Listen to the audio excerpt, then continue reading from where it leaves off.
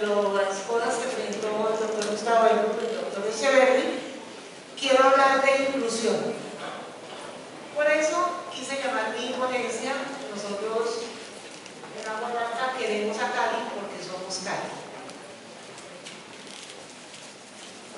Cuando yo llegué al distrito de Aguamarca, me encontré, pues, el señor Pedro Rullano me invitó para que a trabajar allá. Yo dije que sí, pero yo no sabía qué era.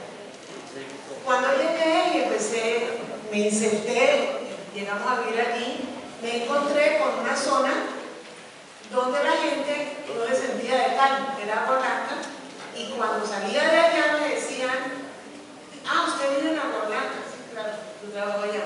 Y cuando estaba aquí me decían, ah, va para Blanca. Y cuando estaba allá, yo decía, voy para Cali. Eso ha mermado bastante,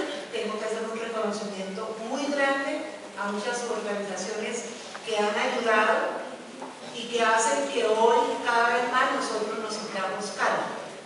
Es la avenida Simón Bolívar la que divide la ciudad de Cali en dos. Al occidente tenemos a Cali y en el oriente está Agua Blanca. Originalmente Agua Blanca está conformada por las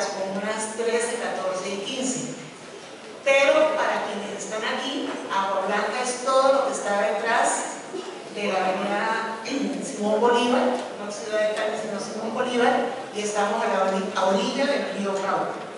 Y ahora que menciono el río Cauca, para que no se me olviden, nosotros desde Agua Blanca y desde el oriente de Cali, queremos que todos, caleñas y caleños, volvamos al río